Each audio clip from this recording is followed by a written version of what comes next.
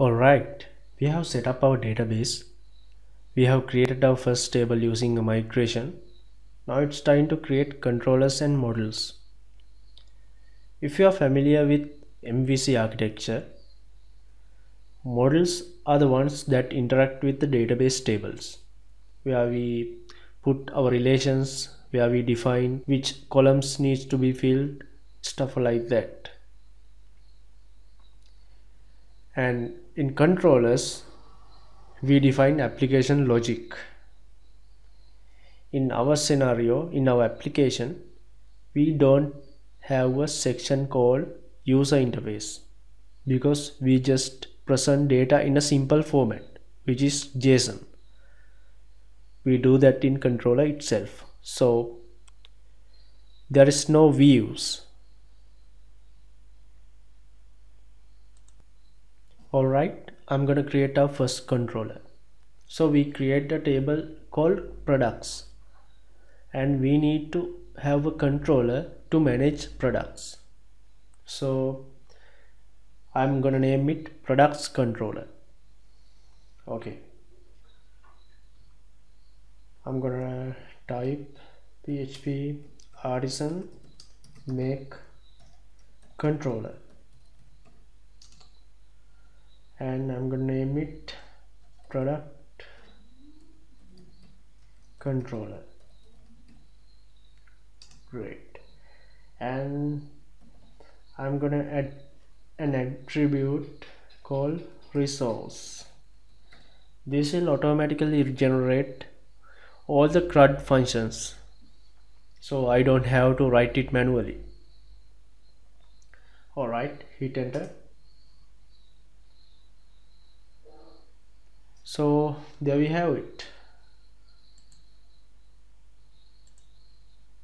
In controllers we have product controller. Let's open it up. And there we have index method create method store method show method edit method update and destroy method. Well let me explain what this method supposed to be doing. Index method is the one that is responsible for getting fetching all the products. Create method we are not using it in our application. You will see why. And store method is the one we use to save our products and show method is responsible for fetching single product. We don't use uh, edit method as well. We use update method to update product update a single product. And finally we use destroy to delete product we have set up a controller which is product controller and we need to have routes to access these methods. Okay now it's time to create some routes. In the project folder there's a subfolder called routes. In that folder there are four available files. Open api.php so this is where you define all the api routes. The controller i created was a resource controller which means all the methods can be accessed using one resource route. So I'm going to type route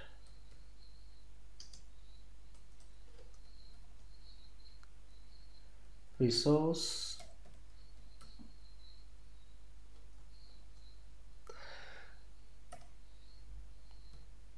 so the products are available through this URL segment.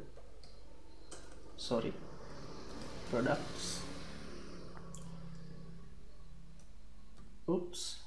I need to define which controller I'm going to access. Should be product controller. That's it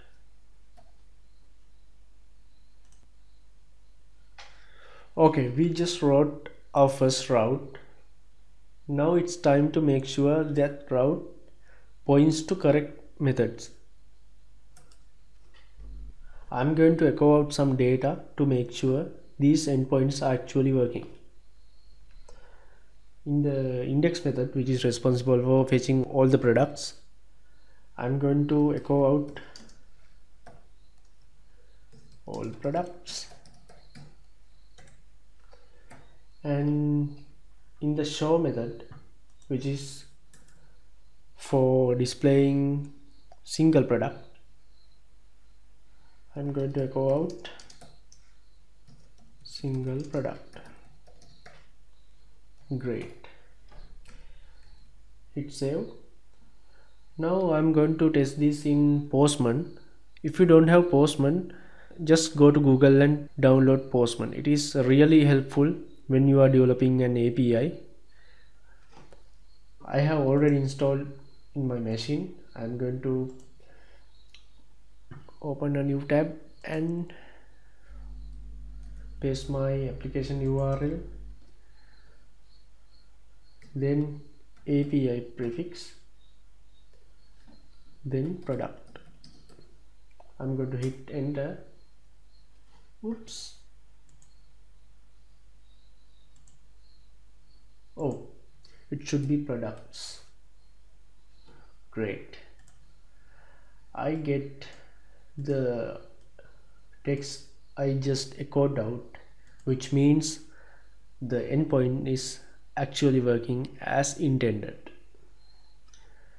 And I'm going to add an ID which is like displaying a single product now I'm going to hit enter. It works as intended. Displays a single product. Great.